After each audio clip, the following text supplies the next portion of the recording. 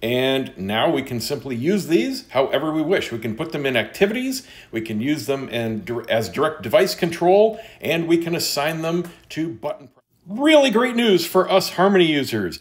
Just in the last few days, we got a fix for the Lutron account linking, so we can now use our Lutron devices again. And we just got a fix for SmartThings integration, which has been broken for over a year now.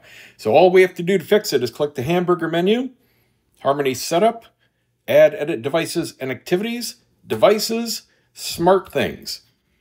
Now, you may or may not see a list of devices you previously had in there. What you need to do is click Re-Login. This is going to link your accounts again and pull the lists together. Now, you may have to actually log into your account, and then you'll see this screen here. This is asking you to pick your hub. If you've only got one, there's only going to be one in the list.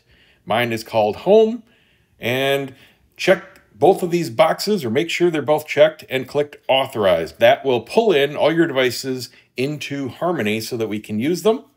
You may need to log in here. It should automatically kick you back into the app. Go ahead and click try again if this comes up. This is completely routine. Go through once again. Sometimes that happens if you have to actually do the logins, but if you're already logged in, it should sail right through. So we'll, we'll see it probably work this time. Or not. Make a liar out of me. Go ahead.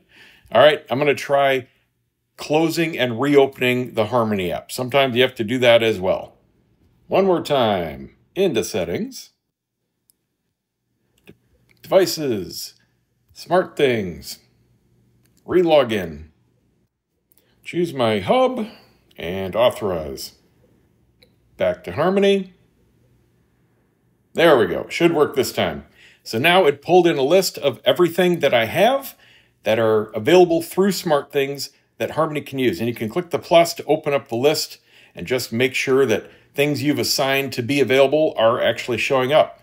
And now I've got four things. My bass shaker amp is what I use for my Crosens amp and my cabinet fan or my cooling fans that I have on a smart switch in my media rack. So just click the next arrow in the upper right hand corner and now we can simply use these however we wish. We can put them in activities, we can use them in, as direct device control, and we can assign them to button presses on our remotes. That's it. Enjoy.